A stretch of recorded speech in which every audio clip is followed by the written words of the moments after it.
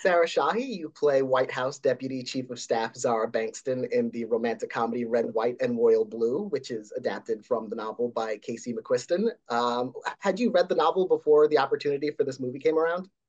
No, I hadn't. Um, I hadn't read it, and you know, actually, I hadn't. I hadn't even heard of it until after I got this offer.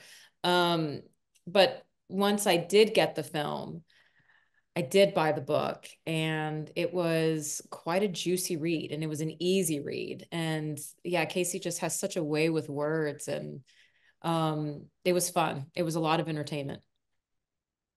And uh, what did you think about uh, Zahra as a character when you read the book?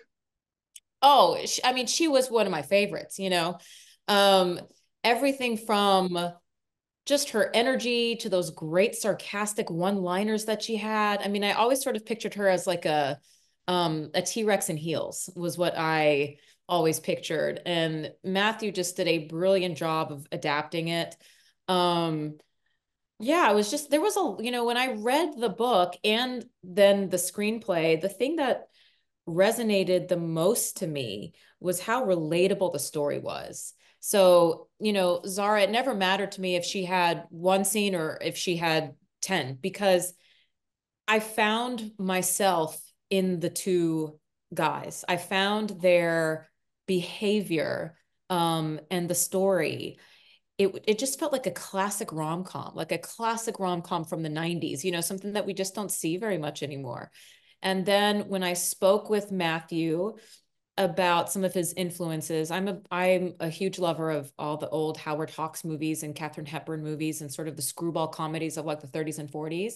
And when he had some of those as as his references, I was like, oh, well, this is a guy I can fuck with. You know, like this is somebody we're going to be on the same page with this. And yeah, again, it was just I had to be a part of this, no matter how big or small Zahra was, because I was so pulled by the story.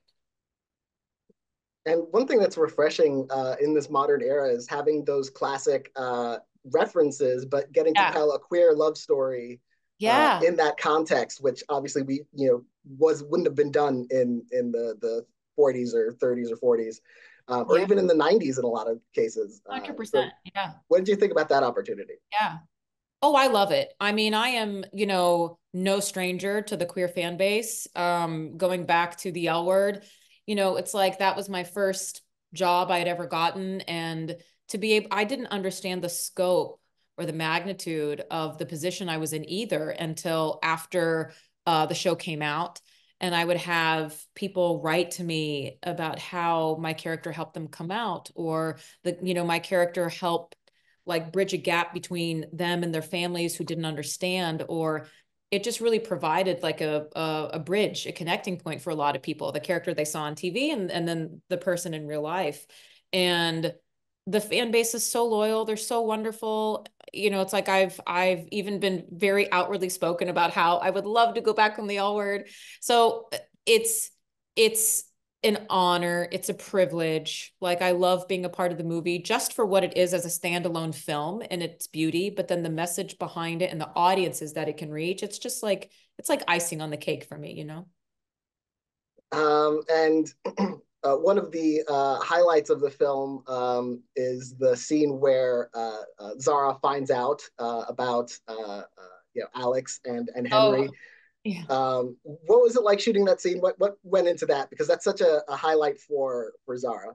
Yeah, no, that was a great scene. Um, I was always jet lagged on this film. We shot it in London, and I'm a single mom of three kids, and so I was always coming like, you know, just the night before I had to shoot, and then the minute I wrapped, I was out of there. Um, so the day that I came for that, I think I had just arrived when we shot that scene, and I was so jet lagged. I wasn't even sure what language I was speaking for the first half of the day. Um, but there was a lot of choreography because, um, you know, the room was kind of big in its size.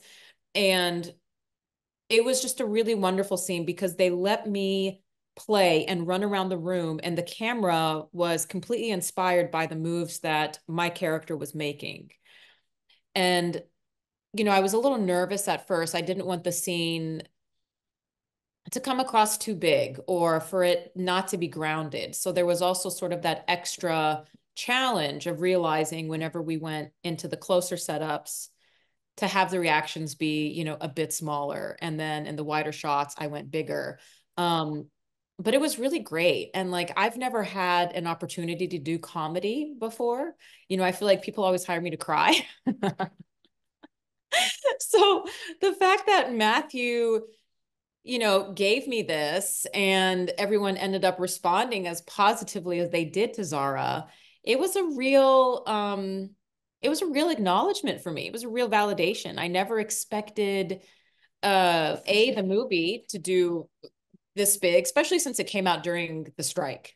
So it really felt like a missed opportunity to be able to talk about something that I was so passionate about. And that was a huge bummer um, for all of us.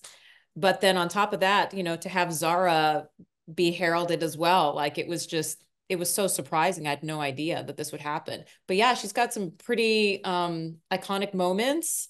And you know the book definitely expands on her and i hope we get to see more of her down the line on something but um yeah it was uh it, has been a fun ride uh, and comic timing is is so much a part of like screwball comedy uh, was yes. you know, how many takes really like went into it was you know a lot of takes a lot of coverage a lot of you know playing around with it um, I can't remember because I can barely remember the names of my children, let alone um what I did last year with this. But um, no, just kidding. I know all the names of my children. Um, but it was because again, I had I was a huge fan of all of those movies. Like I grew up with a single mom and the only television that we had was this black and white tube that played only Sophia Loren movies and Katharine Hepburn movies. And so it was just black and white film. And so if he said Rosalind Russell, give me some Rosalind Russell from His Girl Friday, do Katharine Hepburn and Bringing Up Baby, do that. That's like, I knew exactly what he was talking about. But it, it really took, you know what it was for me? It was like blind trust, you know, or blind faith and knowing that my director, whom I had never worked with before, you know, I, I, I didn't have any visuals to go. It's not like we were watching, um, you know, after each take, we were, we were replaying it and so it was just a real exercise in trust that he knew what he was doing. And I adored him so much that I went there with him. So I'm not sure how long it took or how many takes we did. I pretty confidently remember it taking, you know, a, a good half of the day, a good four hours or so to get it. Um, and also playing around with the different degrees of how big I can go. Uh you know how big when when the because she melts down. She completely melts down in that scene. It's like watching a computer melt down. And what does that look like? You know her brain is malfunctioning. But at the same time oh this is something it was really important to me and i told matthew this that she doesn't come across anti their love affair you know i still wanted zahra very much to be a, a, a proponent of this. Like she has no problem with the fact that they're together. It's just the fact that the timing is really fucking bad right now, fellas. You know what I mean? It's like you couldn't keep it in just until the election season was over. Like I just I was I was very cautious with him and I that was the one thing I was a little nervous about. As I was like I don't want anyone to come out of this thinking I'm anti any of this because I'm so not. And Zahra's not either. Um but it's that real sort of familiar brother sister relationship that she has with Alex that even makes her feel so comfortable being so outwardly critical because of the timing of it and what this could mean for his mother in terms of the election, you know? Um, so that was something that was a line too I was very careful about. And again, it just meant the world to me that it didn't come across like that. And it didn't. So we succeeded in that sense.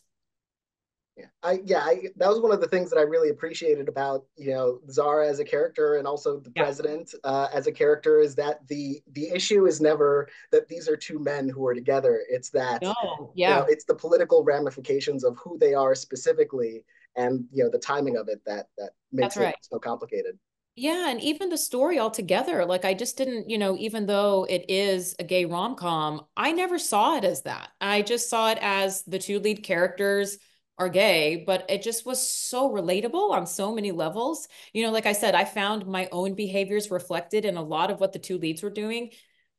that I just again like I felt like I was just watching a classic like rom-com from the 90s like a Julia Roberts you know thing from the 90s it just felt no different to me um but again it is a gay rom-com and what it has ended up doing and how commercially huge it's gotten was it's just so so great for the community as well uh, and you mentioned uh, Matthew Lopez, the director. Yeah. Uh, his first feature film as a director. He's a Tony-winning playwright. Uh, what was so he annoying. like as a director? He is so talented. It's annoying. when I'm like, don't put just he's annoying. He is so talented. It's annoying, and his ideas are always good. And he's one of the best writers I've ever worked with.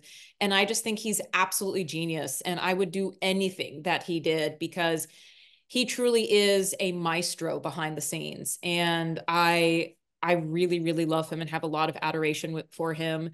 Um, you know, Matthew there are those directors that are very collaborative and don't know what they want. And then there are directors that know exactly what they want and they're not very collaborative.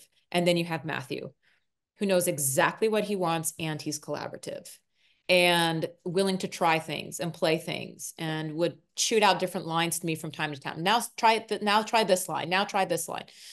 And it was just so refreshing to work with somebody who is as talented as he is, but also invites you to sit at the table as well. Um, but like I said, I just can't speak highly enough of him. I adore that man. Uh, and you know, a lot of your your primary scene partner throughout the film is uh, Taylor Zakhar Perez uh, as Alex. Um, and as you mentioned, there's sort of like a sibling rapport between the two of them. Uh, how did the two of you work together as actors to kind of develop that relationship?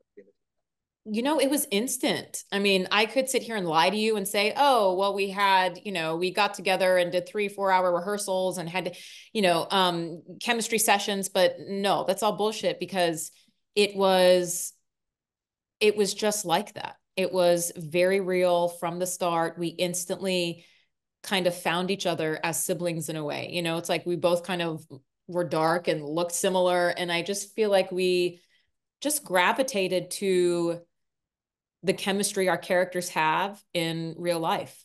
And it's, you know, it's fun to hit him with a pillow, you know, and call him an idiot. You know, it's fun to do stuff like that because when do I get to do stuff like that? Never. So to be able to have this little brother that I can take out anger and frustration on and point a finger at from time to time and roll my eyes at, you know, it was just really fun. Um, and then also there's the other side of that too, which is like he is you know, Alex is very smart and he is the president's son and he has good ideas. So not to not to disregard him too easily too when he comes to me for things and to actually be in a position of being a teacher and helping to guide um, you know this young person in the world of politics because he does want to make a difference so there was just so much for me to chew on from the beginning with with zahra i you know uh, and speaking of a lot to chew on, there is uh, you know so much world that this film and the book uh, create. Uh, yes. Is this a character that you ever want to revisit if the opportunity came? A hundred percent, I would. You know, like I said, I was really, I found her to be, you know, I mean, separate from the fellas, I I would really really gravitated to her and found her to be one of the guest best characters in the book and in the film she was so smart. She was so sarcastic. She was, I just really found her energy refreshing in a sense that she was the no bullshit, um, had no filter. And I think those kinds of characters, they're always fun to play.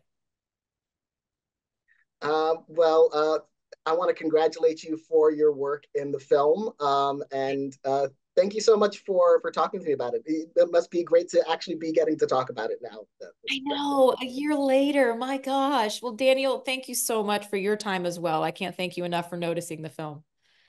My pleasure.